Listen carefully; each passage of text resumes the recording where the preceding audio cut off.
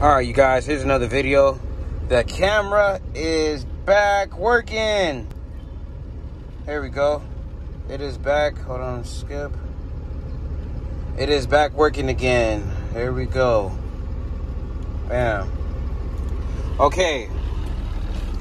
What I think, what I think what happened with the camera was when I was in the kitchen recording my girl preparing the ribs and and the mac and cheese and some mashed potatoes and everything.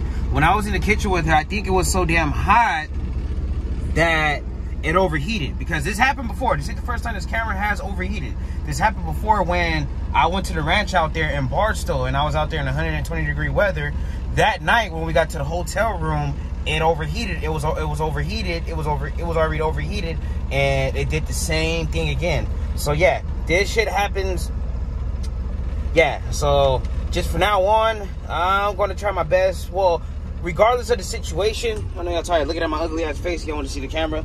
Regardless of the situation, you guys, I got to work. I got to use this camera. This camera brings in the little bread and butter that I'm receiving off of YouTube, and it provides you guys with good quality shit that y'all can watch on your TV or on your phone, and which is, and which is way better than this iPhone. I know this iPhone quality shit. Now, I personally don't like the iPhone quality.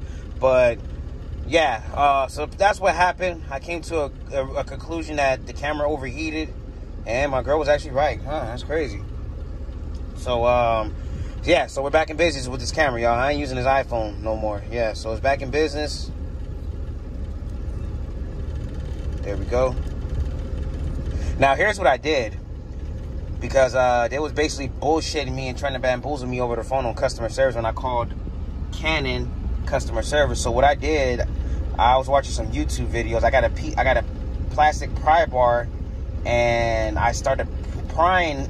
I started prying on the lens on each side, and then I started tapping the power button repeatedly until it started to open again. Then it started opening it again. Then it got then the lens got stuck again. And then since I got the air conditioner on in this truck and everything, which is ice cold, um, it started getting more better and more better and more better, and then started working normally fine again. So um, I'm grateful. I'm thankful. Um, honestly, I'm not even gonna lie, you guys. If without this camera, you know, I, I, you know, iPhone, iPhone, I can only do so much, and I can only record so much. And um, oh, I had a fart. And um, here it is. You know, I can't be without this camera. I can't be without this camera. Like I literally, I'm not even gonna lie.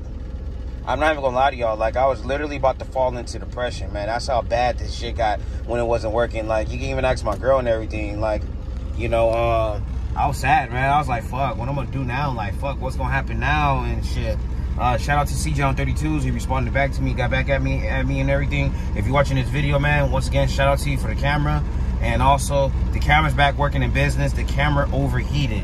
So that's just showing right there that these probably, I may be wrong, I may be correct.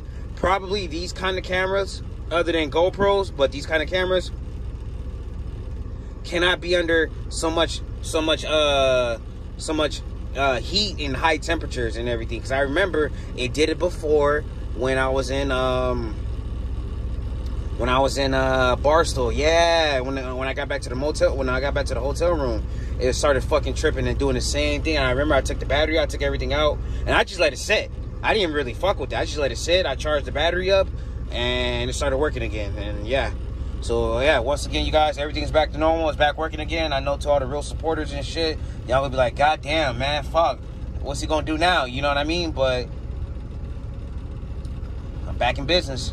Uh, see you guys on the next video. I'm not gonna take up you guys' time, and uh, back to recording on here. Catch you guys on the next one.